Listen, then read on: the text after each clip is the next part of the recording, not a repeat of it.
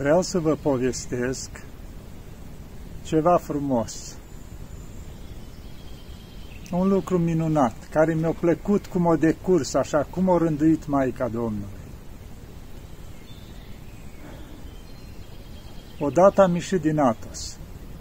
Am ieșit cu ceva treburi la Tesalonic. Am ieșit corabia de amează, deci univa pe la trei am ajuns la Uranopole. Și bineînțeles, înainte de a pleca spre Tesalonic, cei care ați fost la Uranopoli știți exact de la Tun cum se coboară din corabii, pe malul mării acolo sunt vreo 3-4 taverni din asta, restaurante, așa unde se poate mânca. Ei, m-am dus și eu acolo, chiar unde lucrează și un român acolo, de obicei merg mulți români acolo și mănânc, e frumos amenajat și mâncare bună. Și am mers și m-am așezat la o masă, exact de acolo cum ar fi așa, e exact pe malul mării. Am putea spune, puțin la mai înălțime, dacă te duci la o masă drept pe margine, ai nisipul jos și la câțiva metri puțin mai încolo e mare. E foarte frumos așa, mai ales când se lasă spre după amiază, așa să spunem, soarele spre mare, e o frumusețe acolo, să stai să admiri marea. Ei, fiind nu prea aglomerat acolo, să spunem, foarte multe mese libere, era doar câteva mese mai încolo ocupate, m-am așezat la o masă într-un colț, așa chiar acolo spre mare, unde era frumos, la gărduțul ceala. Și cum stam eu acolo, am comandat un freș de portocale. Mi l-au adus acolo frumos și stăteam și priveam spre mare. Era marea în stânga mea, cum se zice așa, și m-am pus cotul pe masă așa, stăteam și admiram marea. Mă uitam la pescăruși, cum se jucau, cumva, adică intrasem așa în altă lume, putem spune. Că felul meu îi și îmi place, așa, când admir ceva, chiar mă bucur. Și cum stam eu așa, la un moment dat simt o atingere pe umăr. M-a atins cineva cu mâna. Eu am spus un fel o atingere de o aripă ca de înger. Ei, și cum uh, stăteam așa, m-am întors. Și în momentul ceala am văzut o fetiță, așa, la 9 anișori, cu 20 de euro în mână.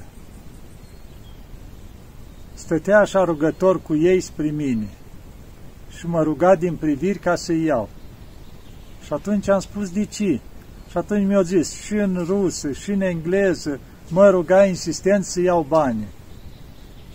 Și am spus, da, cu cine ești? Că era o fetiță și mi-au arătat chiar la câțiva metri mai încolo, cum se trecea prin fața restaurantului unde se terminau mesele, pe mama ei, care era acolo. Și chiar m-a salutat cu mâna mama ei când am întros pe virea, când mi-a spus fetița că e cu mama ei.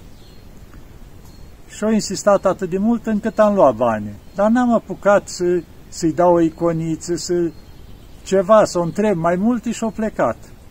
Am rămas cumva așa, cu bani în mână, uitându-mă, au plecat și abia după ce mi-a revenit eu din asta, să spunem așa, mi-a părut rău, zic, măi, dar nu i-am dat o iconiță, o cruciuliță, ceva. Și, da, zic, cum e voia Maicii Domnului? Bineînțeles, comandasem ceva să mănânc, am mâncat între timp acolo, când o veni nota de plată, 20 de euro. Exact banii care îi primisem de la fetiță. Deci Maica Domnului se îngrijise și îmi plătise și masa. Bineînțeles, de acolo trebuia să mă duc să iau mașina. Și atunci am zis, dacă îi voia Maicii Domnului, m-aș bucura să li mai întâlnesc, măcar să li dau ceva. Și cum mergeam spre mașină, univa era așa ca o cafenea, într-un loc unde e stația de autobuz, adică are plăcinte, cafea, sucuri din astea acolo, sau un ceai.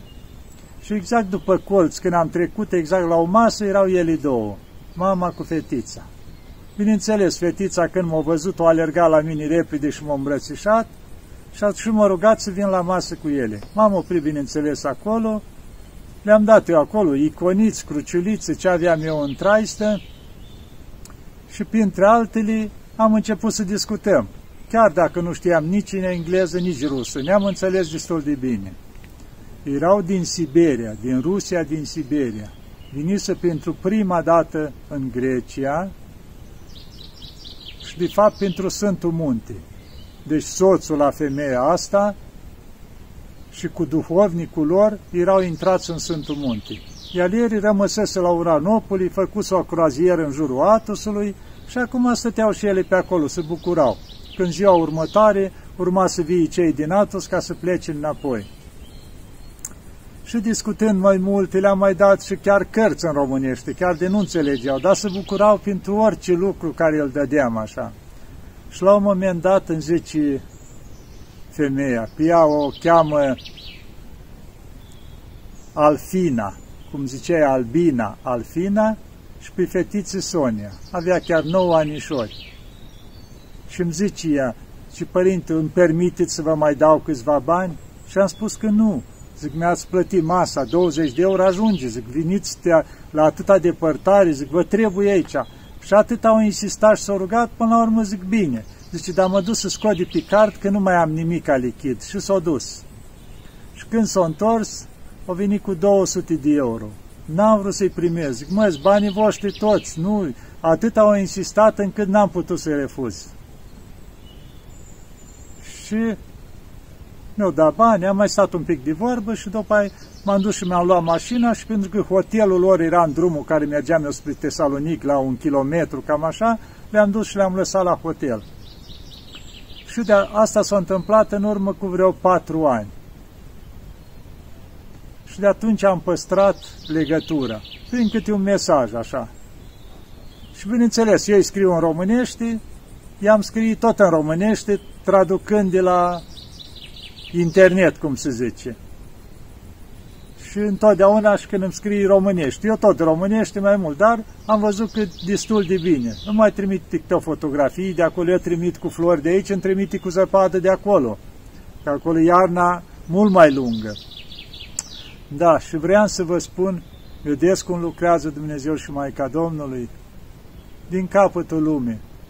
Dar limba lui Dumnezeu, adică întotdeauna se înțelege. Cum v-am zis, nu știu nici rusă, nici engleză, dar ne-am înțeles foarte bine. Adică tot ce am avut de discutat, am putut discuta. Deci o familie credincioasă, simplă, cu evlavie, cu respect, m-am bucurat foarte mult de întâlnirea cu ei. Da, și lucruri de astea sunt foarte multe întâlnite așa. Aproape de fiecare dată când mă duc, ceva intervine sub o formă sau alta. Poate pe parcurs o să vă mai povestesc. Să ne ajute Maica Domnului, să ne aibă în pază și să ne încredințăm întotdeauna în mâinile ei. Doamne ajută!